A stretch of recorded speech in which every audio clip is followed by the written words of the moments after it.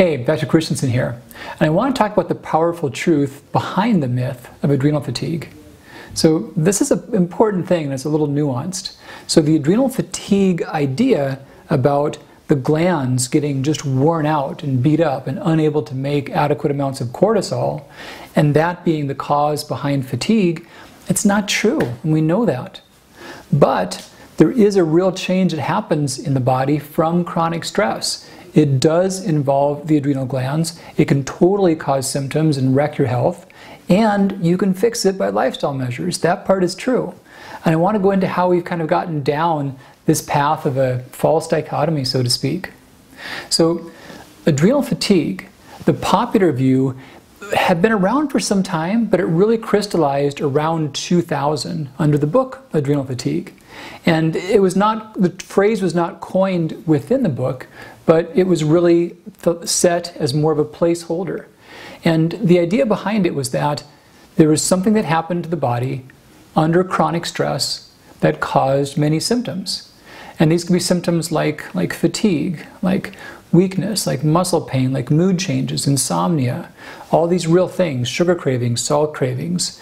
And the thought was that since these same things could happen severely in the case of adrenal insufficiency or Addison's disease, that's where the glands just cannot make enough hormone. So think about that as like a Hashimoto's of the adrenals rather than a Hashimoto's of the thyroid. That's a case to where the immunity attacks the glands, it destroys them, and they just can't work anymore. And it's rare, but it's real. Now, some thought that a weaker version of that you could call adrenal fatigue.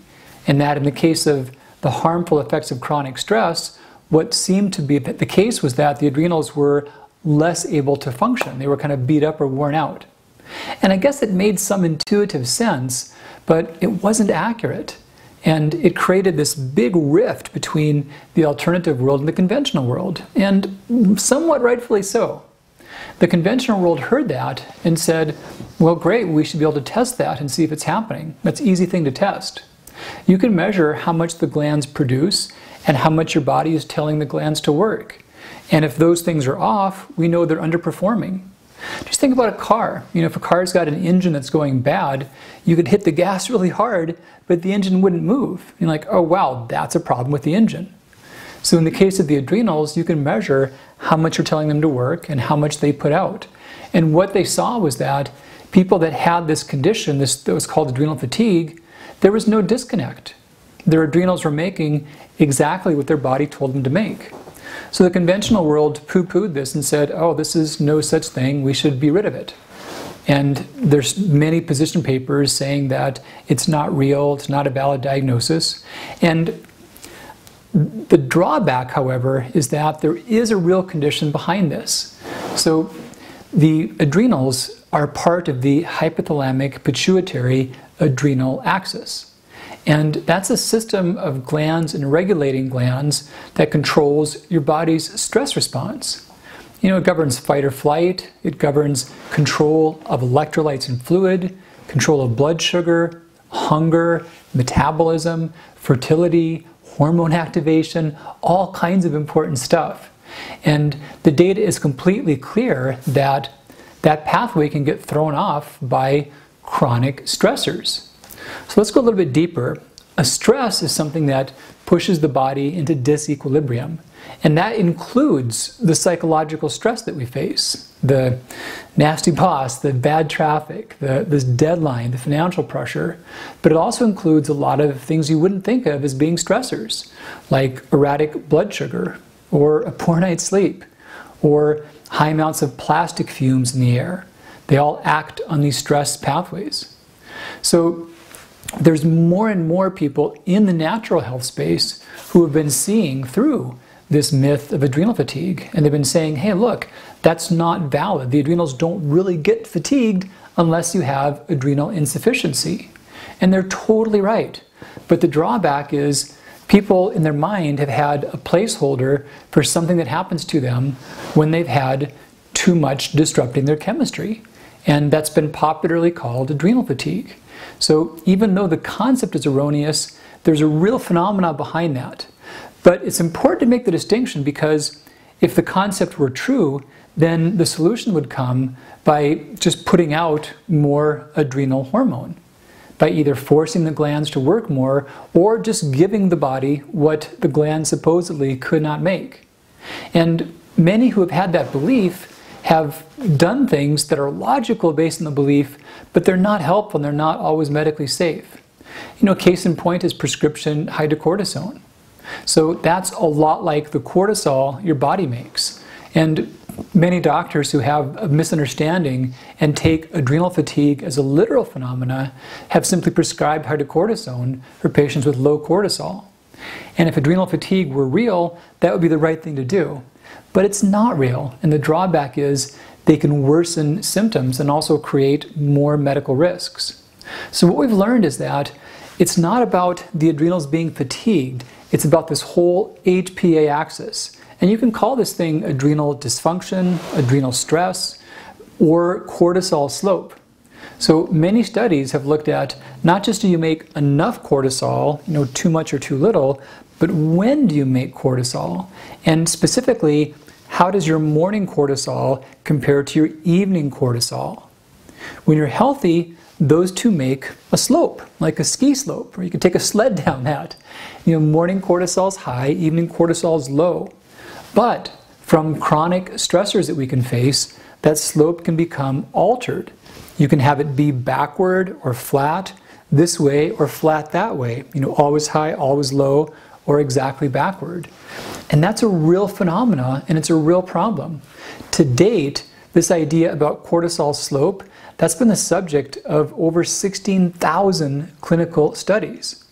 So we've got a lot of data saying that this is a real thing. And when it's not right, it's the driver of many big symptoms. We look at fatigue, depression, insomnia, anxiety, easy weight gain, digestive disturbances, inflammation. So a lot of those are symptoms that were ascribed to adrenal fatigue. So this adrenal stress thing is real. And there's also been data saying that that cortisol slope is a big factor for creating other problems in terms of greater risk for disease and actually shorter lifespan. You know, one of the most remarkable studies I've read was the Whitehall 2 study. And in it, they tracked thousands of people with a lot of different health tests like blood sugar, body weight, cholesterol, uh, blood pressure, but also they tracked this cortisol slope. And this was done by salivary cortisol. Many who have attacked adrenal fatigue have also attacked salivary cortisol testing, saying it's not valid. And there's a lot of data saying that it is a useful tool. It does predict diseases. And in this particular study, the Whitehall 2 study, that salivary cortisol slope was a stronger predictor of death than anything else was, even smoking status. So it does correlate with your health status. Now, the beautiful thing is that it can shift, it can improve. The main things that disrupt that are going to be changes in blood sugar, uh, problems with sleep, and then also a lot of high early life traumas. They set the stage for that. Then, along with that, just chronic ongoing stress and changes in lifestyle. But it can, it can switch, it can repair, and it can get better. So the first step really, the first action step as always is getting an accurate diagnosis. Is this affecting your health and how would you know that? I encourage a two-pronged approach, you know, one of which is mapping out your symptoms. The easiest way to do that is by taking the quiz at adrenalquiz.com.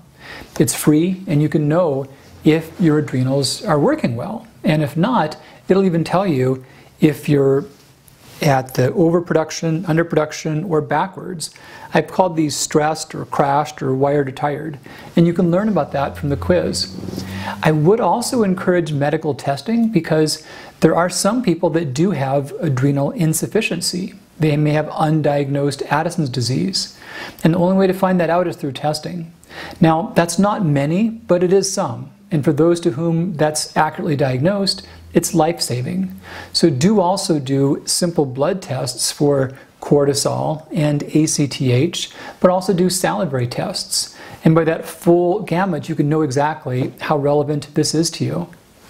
Now the next step after you get some diagnosis is then you know, the main thing is you are what you eat and diet can be so helpful.